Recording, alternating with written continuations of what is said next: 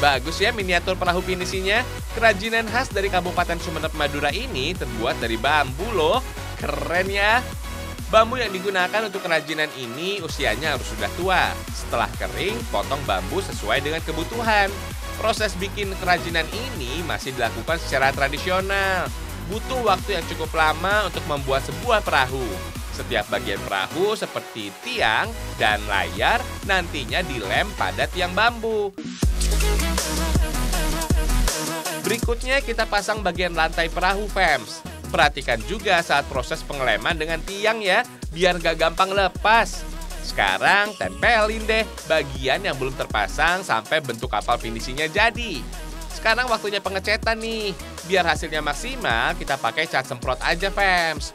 Untuk warnanya bisa disesuaikan dengan selera. Baru deh jemur di bawah matahari sampai kering.